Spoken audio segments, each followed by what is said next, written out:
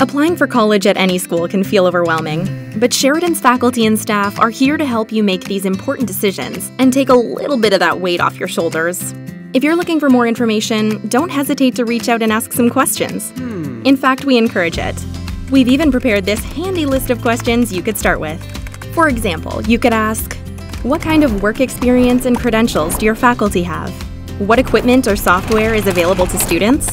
What career paths are an option in my chosen field of study? What work placement options are available?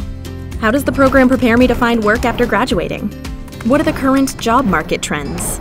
And where have some of the previous graduates of the program ended up? We like to keep in contact with our grads so we can help you figure out your path. And those are just our suggestions. Feel free to get into the nitty gritty with our faculty because they can help answer questions big and small.